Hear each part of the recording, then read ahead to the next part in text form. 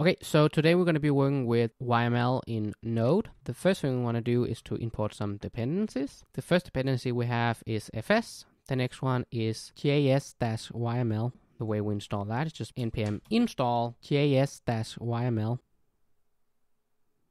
there we go. The next thing we want to do is to load in the file. We could also do all this asynchronously, and then we'll take that raw data and put it into safe load, and this function will pass the YAML into a JavaScript object. So obviously we have to make this file first, so we'll do new file. There we go. Paste this data in. I will not be going through how uh, YAML works, since this is just how to work with YAML in JavaScript, and you should already know YAML. Back in the code, after we got the data and converted it to a JavaScript object, I will show this data. After that, we'll modify a value in there. So we'll do data, data which is the whole object, dot customer, dot customer, first name, first name, and I will change that to Bob. Okay.